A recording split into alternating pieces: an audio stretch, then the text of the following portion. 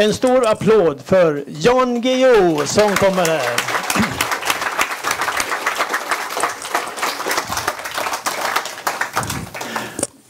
Ja. Jan Guillou, det är alltid lika trevligt att ha dig här. Vi konstaterade för en stund sedan att det var, kan det ha varit sex år sedan senast? Ja, det är väl 2017. kanske 30 år sedan första gången. Ja, ja, ja, ja men nu senaste menar jag.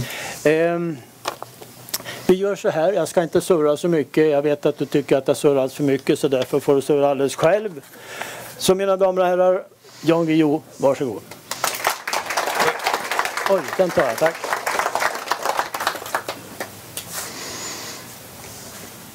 När eh, jag var eh, mycket, mycket ung, för det har jag varit, eh, så föddes drömmen om att bli författare. Jag var alltså gymnasist och ehm, visste omedelbart att ska man bli författare så är det väsentligt att bli en fin författare. Alltså inte en sån där vilken som helst. Det finns väldigt många författare som vi vet. Men en fin författare är en sån som inte har läsare. Och ehm, då gäller det att utbilda sig i konsten att skriva så att man inte får läsare. Ehm, men ändå fint. Och ehm, eh, det, var, det, det tog några år att lära sig det där. Jag hade vissa fördelar genom mina, mina associationer till Frankrike. Det fanns något som hette den nya franska romanen vid den här tiden. Det gällde, över, det gällde som senaste litterära mode, i, i alla fall i västvärlden. Eh, teoretiken för denna nya stil hette det eh, Alain Romprier och han eh, formulerade huvudprincipen som så att en riktigt modern ny fransk roman ska inte ha någon handling och inga huvudpersoner. Tänk bara lite på vad det innebär för en berättelse så förstår ni vad obegriplig litteratur är, det vill säga genialisk litteratur. Det här är värt en liten parentes för att eh, det här var en sorts eh, självklarhet att det var så det låg till. Att fin litteratur har inga läsare, dålig litteratur har många läsare. Och eh, i efterhand så har jag alldeles för sent, eh, nämligen nyligen, försökt förstå, förstå var det här kommer ifrån. Och det är så att Sverige är nog det mest utstuderade landet när det gäller den här inställningen. I, den finns inte i USA. Alltså många läsare är bra eh, och sen ska det vara en bra och dålig bok men det, har, det finns inget automatiskt svenskt samband mellan en stor upplaga och en låg litterär kvalitet. Samma i Frankrike och, och nu talar vi ändå två litterärt väldigt olika länder, USA och Frankrike. Eh, den mest säljande författaren där är också väldigt högaktad, konstigt nog. Det är, han är, det är en reaktionär galning som heter Welbeck. Eh, så detta är något mycket svenskt. Så, och varifrån kommer det? Ja, från universiteten såklart, som lär de svensklärare som lärde sådana som mig att, eh, hur det ligger till. Men var fick de det ifrån i universiteten? Och nu äntligen vet jag. Eh, Det sammanhänger med den tidiga svenska 1800-talslitteraturen. För den skrevs nämligen, åtminstone den som lästes, och läses verkligen stort, av kvinnor. Eh, Emilie Flygare Carlén skrev den roman ni kan ha hört talas om heter Rosen på Tistelön.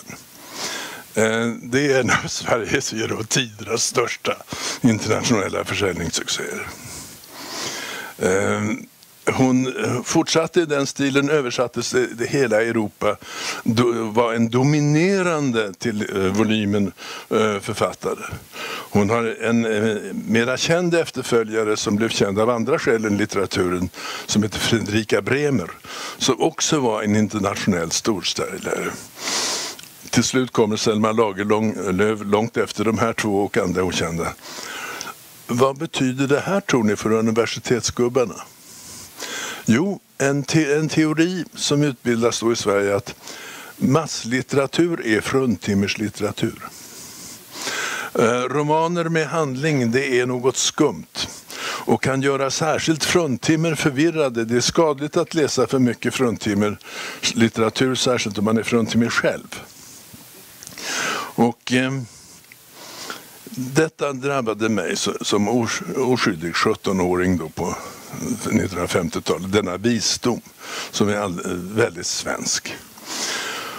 Och jag utbildade mig i konsten att skriva genialiskt, det vill säga obegripligt, eh, genom att härma de här franska eh, eh nya romanförfattarna. och blir bättre och bättre på det fram tills det blir 1968. Och då blir min hållning plötsligt moraliskt omöjlig. Alltså, världen är 1968 är svart och vit. Man kan skilja mellan gott och ont. Eh, napalmbomber över Vietnam är ont. Apartheid i Sydafrika är ont, liksom de tre militära fascistdiktaturerna vi hade i Europa vid den här tiden. Grekland, Spanien och Portugal. Och det som nu ska stå i våra flygblad, i Vietnambulletinen, i Palestinsk front, i Tidsignal och eh, andra liknande eh, publikationer ska vara klart som vatten på ett eh, tydligt och begripligt språk. Och det ska handla om väsentliga ting och nå så många läsare som möjligt. Alltså tvärt emot genilitteraturen som jag hade lärt mig att imitera. Och även om det nu hade varit lätt att lära sig att skriva obegripligt, eh, genialiskt, det kan vilken idiot som helst klara av tror jag efter någon tid, så blir det omvända ett nästan omöjligt projekt. För hur gör man när man ska skriva begripligt klart om viktiga ting för en jättepublik? Vilket ju är uppdraget. Det hade jag ingen eh, klar uppfattning om. Och det fanns heller ingen, ingen att imitera riktigt. Så jag gav upp alla litterära planer för ett antal år och blev istället journalist. Eh, samhällskritisk journalist, vänsterextremistisk journalist såklart. Eh, och eh, kritiserade då samhället till slut med sån framgång att jag hamnade i fängelse. Och det är nyttigt. Alltså det, det finns...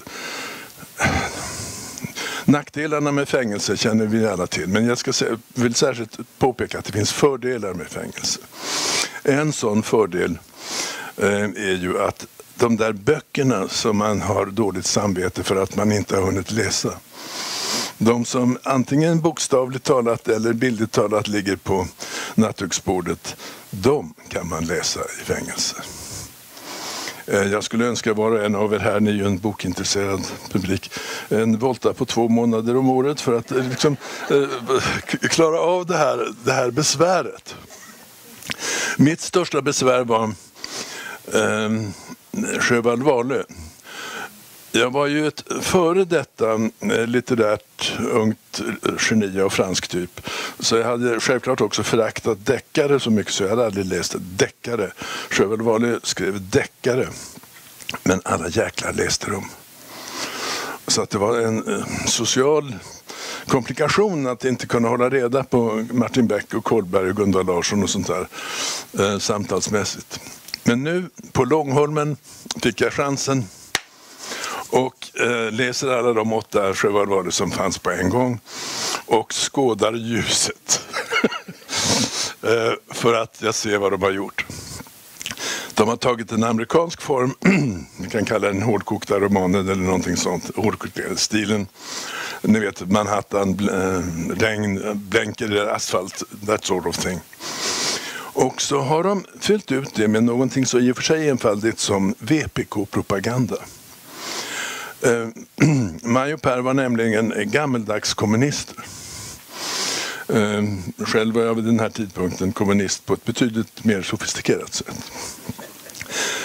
Men de hade, de, där hade de koden.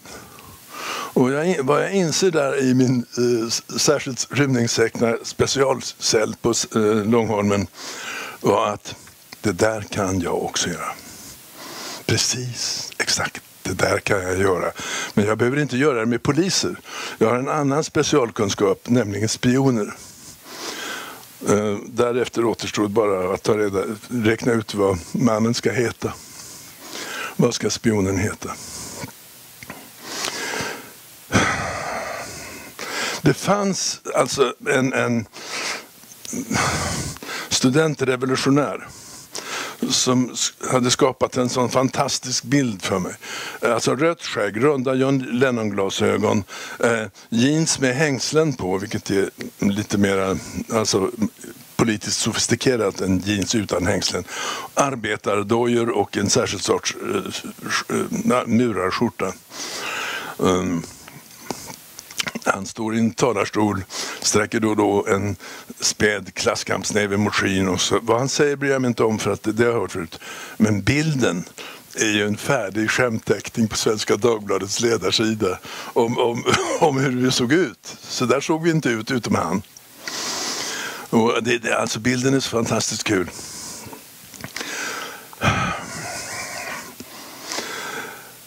Det blir bättre. För när han har pratat färdigt så säger mötesordförande Ja, kamrater, vi tackar kamrat Oxenstierna för det här inlägget. Och man tänker wow, wow, det är otroligt bra. Det är bara två ord. Kamrat och Oxenstierna och det är liksom eh, 500 års historia susar genom rummet med bara de två orden. Så han skulle heta Oxenstierna. Kort studium av Adelskalendern gav i handen att det, det fanns bara en handfull. Ehm, klasskampskillen ehm, var socionom i Nacka vid den här tidpunkten. Ehm, så det var inte så lämpligt. Och det var ju synd. Kamrat Oxenstierna har varit roligt men, men en synnerligen nobel jaktkamrat i Skåne redde ut situationen för mig på ett enkelt sätt när jag redogjorde för det här bekymret. Han, han sa att jag tycker du ska ta Hamilton. I adelskalenderns Pettersson finns hur många som helst. Och resten är historia. Ehm, Sjöwall Wahlöös recept höll. Jag skrev masslitteratur. Och eh, det gick alldeles utmärkt fram till för tre år sedan när jag blev gammal. Eh, det har inte varit dessförinnan, men, men en kombination av eh, spinal stenos, jag kan se av hårfärgen att en och annan här vet vad jag talar om.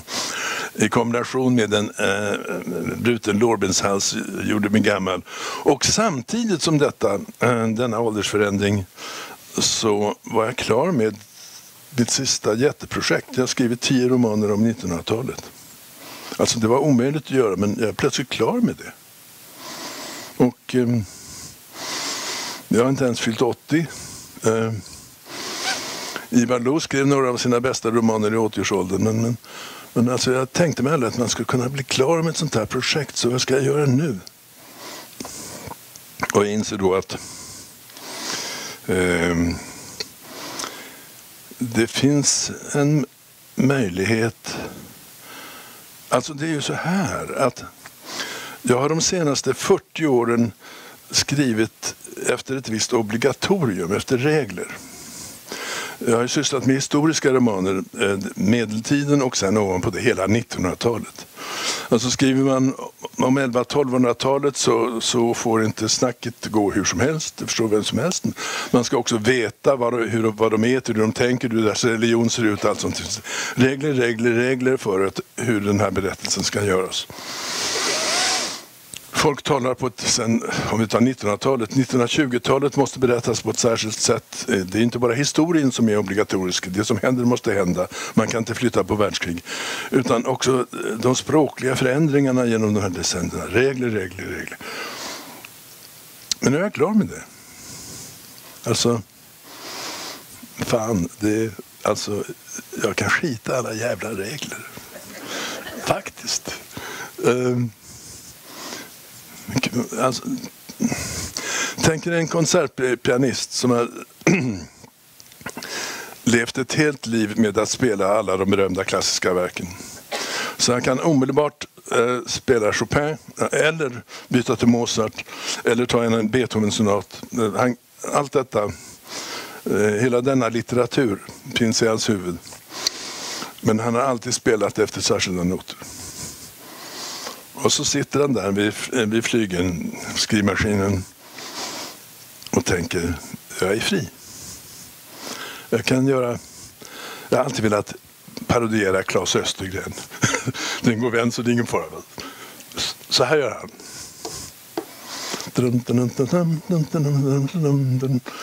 Och sen så gör han en utvikning på 50 sidor och sen tillbaka till storyn. Det där är jättekul. Ulf Lundell med alla sina pippisar, det blir så här. Man deckare kan jag skriva. Ehm, jag kan lägga en deckare. Det gör man med högerhanden sådär nere på diskanten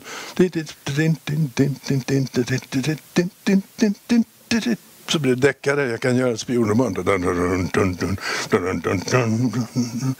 Det här är ju jätteroligt. Och dagboksroman av 1800-talstyp. Det blir så här ungefär. Ja, just det. Kul. Mm. Och om man nu tar alla de här formerna och slår ner dem i en skål och kör ner en eh, hushållsmixer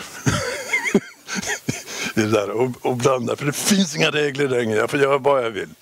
Eh, det här är en bagatell. Det här är en gammal man som roar sig. Eh, så blev det rätt eh, roligt att skriva om det där. Så, och jag tänker också, åldrandet har ju, gräv där det står, alltså jag har just blivit gammal.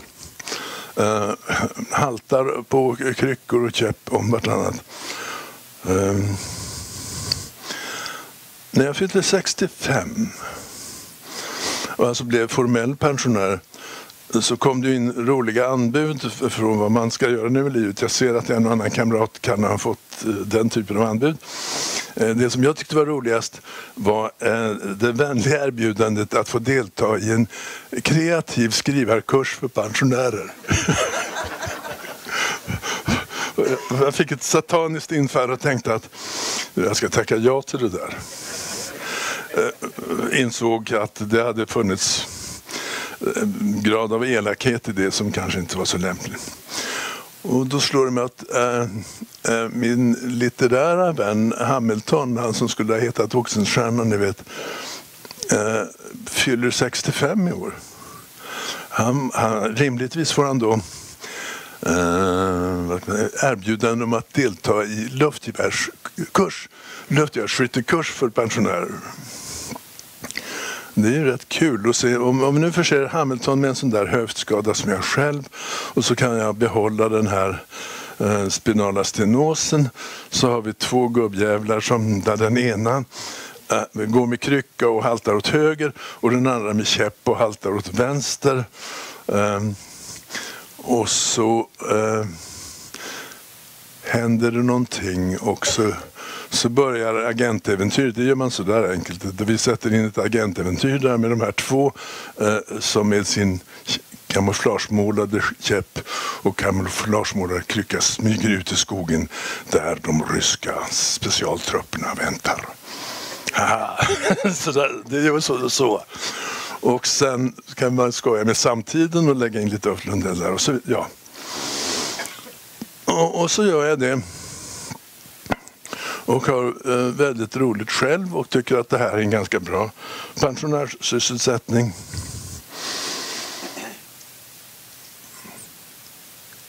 Och sen, ja, ja det, det, blir mycket läsare här också.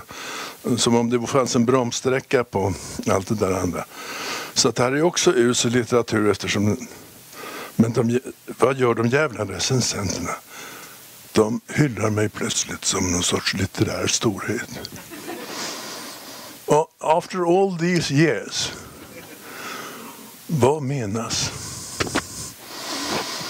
Hur kan de tycka att den här divertissemanget, den här eh, underhållningslitteraturen till, som åtminstone roar författaren, lyckligtvis tydligen läsare också, att det var så jättelitterärt och fint. Det har ju en väldigt stor upplaga, jag menar hur kan det bli fint? Jag vet inte, jag har inte kunnat lösa det här problemet på samma sätt som det där som hängde ihop med Emilie Flygare Carlén och Fredrika Bremer. Men jag tror att uh, de här litteraturvärlden-människorna som satt där och visste att masslitteratur är alltid dåligt, har inget litterärt värde plötsligt läser här och då känner de naturligtvis igen stilparodierna på autofiktionen som diskuteras så mycket nu och, och, och, och ser att eh, sättet att härma Claes Östergren eller skoja med Ulf Lundell, sånt allt det här måste, känner de rimligtvis igen. Och då blir de förvånade över att en sån som jag som har levt i 65 år i litteraturens värld dagligen vet nästan lika mycket som de själva. Ehm, tror de. Jag vet mycket mer än dem jag, eftersom jag har levt mycket längre i den där litteraturens värld. Och så applåderar de. Ja, det var ju... Alltså, vad gör vi nu? Så här... Nej, man får, alltså, den allmänna principen är att det är, bättre, det är roligare att få bra recensioner än dåliga recensioner. Uh, no more, no less än det. Så vi prövar att göra det en gång till då. Ja, det funkar fortfarande.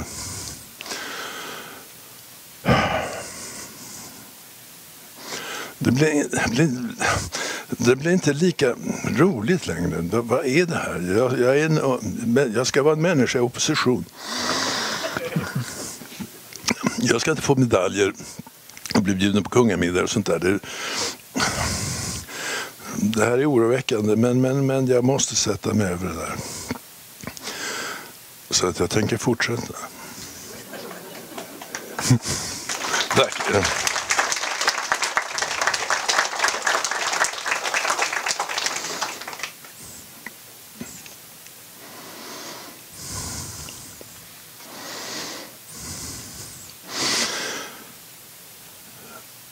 Fungerar din mikrofon? Jag tror det. Bra. Är det någon som har några frågor till Jan? Det finns ju lite inslag av memoar i de här böckerna. Hur, hur, hur tänker du runt omkring det där? Är det ett sätt att ändå skriva lite memoar? Tack för påminnelsen. Det, det, det momentet finns också med i mixen. Jo, det är så här att eh, gubbjävlar, särskilt i den eh, litterära och journalistiska världen som skriver memoarer, bygger monument över sin egen storhet. Eh, det är, det är en eh, löjeväckande genre. Eh, och då, då, då, skulle jag kunna gå fram på två vägar. Det ena vore att parodiera det förstås. Men då det fanns risken att det skulle missförstås. Det, det finns faror med ironi som vi vet, att man blir tagen på allvar. Men min, min parodi på eh, memoarskrivandet går alltså ut på att eh, bekänna sånt där eh, som inte står i memoarer, om, om den egna småaktigheten, om hur man kan reta upp sig på de mest enkla skitsaker i tillvaron. Eh, gå omkring och mala en hel dag på att man har läst någon formulering i en kulturartikel eh, eller det senaste Vi står att Malin Persson är en av de mest sålda författarna i Sverige. Kom igen Malin Persson, vad är det? Alltså, så att jag istället för att bygga monument så, så gör jag, berättar jag om åldrandets negativa sidor och försöker göra det så roligt som möjligt. Men det är viktigt att ha memoarmomentet med, fast, fast så att säga i omvänd stil. Du har haft det ganska kul när du skrev. Ja, det, Vansinnigt kul verkar ja. det som. Jo, alltså det finns ju två... I den första romanen måste jag stå och skriva. Jag blev sen opererad um, så att jag kan sitta och skriva det, och framsteg. Men, men i gengäld går som eh, berusad ständigt. Vilket är en nackdel. Men om jag nu finge välja, måste välja mellan de där två så är det klart att sitta och skriva måste ju i mitt fall vara bättre än att gå och se nykter ut. Det måste ha tagit en väldigt lång tid att skriva med för hand som du gjorde första, Ja. första romanen. Nej men för hand är en annan sak. Det, det var när jag tvingades göra det för att jag inte kan sitta vid en skrivmaskin. Eller kunde. Så, eh, det går ju förstås långsammare att skriva fram. Men då märkte jag att eh, manusen vid sen utskrift blev bättre och distinktare än om jag hade skrivit som jag gjort de senaste 70 åren. Och det tror jag har att göra med att vid åldrandet så blir man inte nödvändigtvis dummare. Ja, till slut blir man eventuellt det. Men inte automatiskt dummare eh, bara för att man blir äldre. Men man blir långsammare. Eh, och det gäller inte bara eh, hur man går eller springer eller någonting sånt där. Utan också att man, man tänker långsammare. Och handskriften har då anpassat sig till min tilltagande långsamhet på ett väldigt positivt sätt som jag inte skulle ha märkt om jag fortsatt med skrivmaskinen. Du skriver mer med eftertanke alltså? Nej, Med långsam tanke. Långsam tanke, okej. Apropå eh, frågan där om eh, memoarer. Det är ju faktiskt så, upptäckte jag idag först, att Piratförlaget ger ut en eh, pocketversion av din eh, biografi som ju kom för 15 år sedan någonting. Är den eh, redigerad? För att omfatta även de 15-åringarna eller är Nej, nej, de här alltså- två romanerna del av den biografin? Nej, nej. eh, Det, det kan finnas enstaka kollisioner men jag försöker ju eh, inte... Eh, I i memoarmomenten i, i de här eh, böckerna som jag skriver nu så försöker jag inte ta, ta in de värsta skrytmomenten. Det var jag som avslöjade IB. Nej, nej. Inte sånt. Utan jag tar in dumheterna istället. Att jag skrev en memoar eh, till slut berodde på att jag kom... Jag avskyr genren. Ehm, därför att det är, eh, ingenting är så löjligt som att läsa de gamla redaktörernas berättelse om sin egen storhet. Och man själv har varit med och sett vad de har gjort egentligen och sånt där. Men jag kom på en sak eh, för ett antal år sedan. Att jag är så, en så pass gammal journalist att jag kommer från det kalla kriget. Jag var med och såg det kalla kriget, alltså den typ eh, av journalister som skriver medvetet lögnaktigt för att det är ens skyldighet som journalist. Alla spioner är alltid skyldiga till allt som åklagaren säger. Det är klart de inte är, men vi skriver det. Ehm, där var jag med. Brytningstiden kommer 1973 när vi plötsligt i en vänstertidning håller på att avslöja en massa saker. Som de andra sa att man, det där kände vi till men det avslöjar vi inte. Så att jag har varit med om kalla kriget. Jag var med om den här frihetstiden. Eh, Watergate-affären i USA är samtidigt med IB-affären i Sverige. Eh, och då, nu, eh, vi skriver inte för staten, vi skriver för att folket ska ha rätt att få veta sanningen. Den korta frihetstiden kan vi säga. Eh, Och sen, nu skriver vi åt kapitalet istället för åt staten. Så jag har varit med om alla de där tre epokerna. Då såg jag en möjlighet att skriva en yrkesmemoar. Alltså inte om min egen moraliska storhet och sådär utan om de här tre epokerna som jag har upplevt dem. Så där fanns det ett skäl att skriva en sorts memoarbok men en yrkesmemoar. Och den kom för 15 år sedan. Ja, det... Har jag min förläggare här? Ja, sitter här. 2009 och så kom pocketupplagan 2010. Tackar. Här har vi en som vet. Så nu ehm, ehm, handlar det om att skoja med, med mänskliga svagheter som jag, som jag har råd att göra på ett annat sätt som gammal. Jag skulle aldrig kunna förlöjliga mig själv som 30-åring. Va? Eh, då hade jag nog haft en annan syn på, på hur hur liksom en, en eh, reporter i samhällets och sanningens tjänst ska... Jag tror du sa någonting nyss om recensioner. Du läser recensioner. Jajamensan, det är ju alla Tar lär du, tar du någon eh, hänsyn till recensenterna eller bara Nej, jag retar upp mig. du retar upp det? Och, och eh, gnisslar tänder och säger ingenting offentligt om vad jag tycker om saken. Ja, de bara skriver trams. Nåväl. Är du på riktigt en teknikkant? För så, så är boken. Ja. Du har inte berättat så mycket om boken men det handlar lite om det. Jo, visst. Jo, alltså jag, har- jag, eh, har svårt med de där telefonerna och sånt där. Ehm, Du ska ha en sån här telefon som går att ringa jag hade med. uppdrag att åka till systemet av min, min, min förläggare, alltså hustru. Eh, och kör upp utanför Systembolaget och där står det sådana där penissar. Och det slår mig att jag, jag har råd att betala 100 000 eh, parkeringstimmar om jag vill. Men jag vet inte hur man gör längre. Förr kunde man stoppa in ett kreditkort i en apparat och så betalade man för det så länge man stod där. Nu ska man hålla på med en telefon och göra saker. Så jag tittar på de där penisarna. stiger ur min eh, rätt dyrbara bil och hejar på dem. Och då tänker de så här, han är inte så fräck så att han inte betalar nu. De har ingen aning om att jag inte kan betala längre.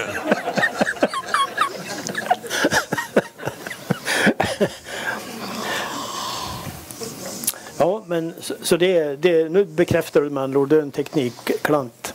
Du skulle ha en sån där telefon som bara går att ringa med. Det finns inte längre. Jo, oh ja, nej, nej, oh ja. nej, nej, nej, finns, jag, jag har försökt. Pensionärstelefoner finns det. De är stora så här va, som en telefonkatalog Alltså, förr. I, den, I min senaste divertissement-roman så handlar det väldigt mycket om teknik. Avancerad teknik. Ehm, Hamilton och Ponti eh, har ett ädelt projekt. De ska komma åt de här bedragarna som lu- lurar äldre personer på telefoner. Och, eh, men sen genom kriget i Ukraina och annat så dras det in, får Hamilton tillgång till militär teknik. Och det betyder att de äger landets samtliga telefoner under all tid oavsett om telefonerna är på eller av.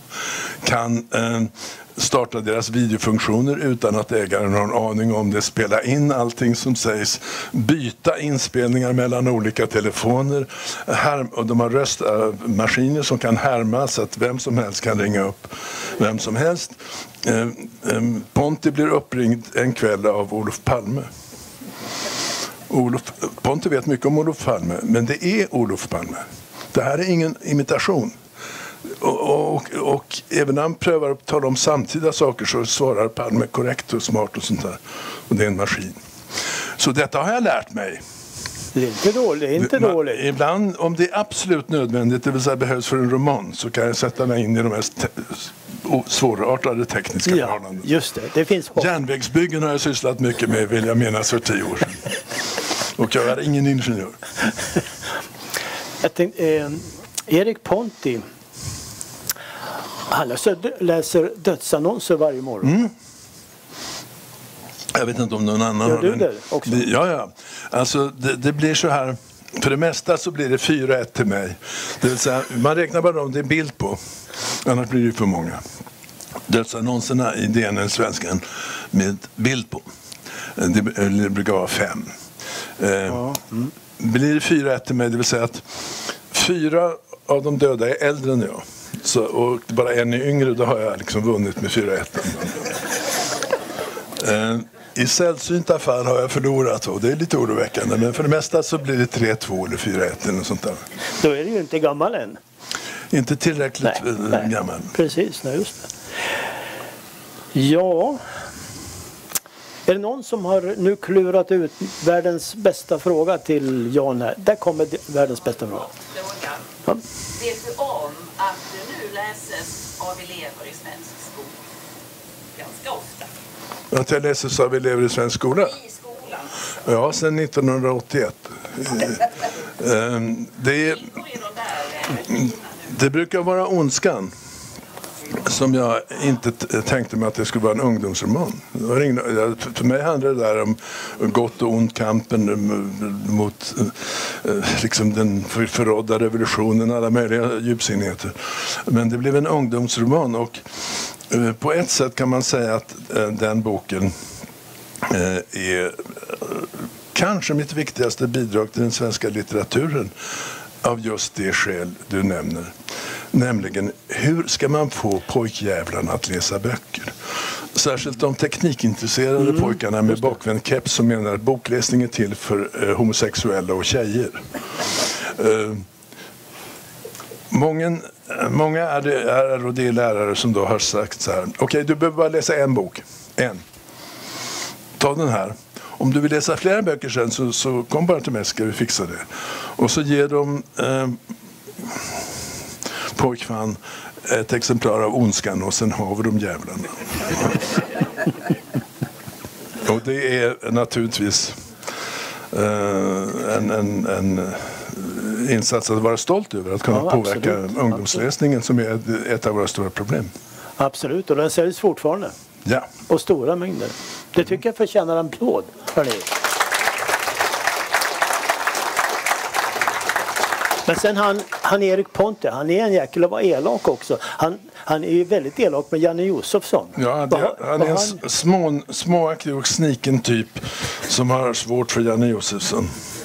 Vilket han borde generöst kunna ha över sig med eh, och, och, och vara betydligt mer tolerant mot än vad han är. Men, men som sagt, det här är inte, mom- memoarmomenten innehåller inte mina bästa sidor utan mina sämsta. Och Erik Ponte, han har väl läst eh, Janne Josefssons nyutkomna mo- memoarer antar jag? Nej, eh, det har jag inte gjort. Och, ehm, eh, jag undrar om jag skulle våga ge mig på en sån skrytvals som det, jag antar att det är. Ja, där fick vi besked. Hörni, eh, tiden börjar gå, har, eller har det gått? Finns det en sista avslutande fråga? Det gjorde det inte. Då tycker jag vi gör så här. Vi tackar Jan Guillaume en stor applåd. Och, och dessutom och dessutom välkommen tillbaka med din tredje bok för den är ju på väg. Ja, eller, jag har inte skrivit en rad än men, men Den finns där i huvudet. ja, det beror på kriget i Ukraina så det är Ja. inte så lätt.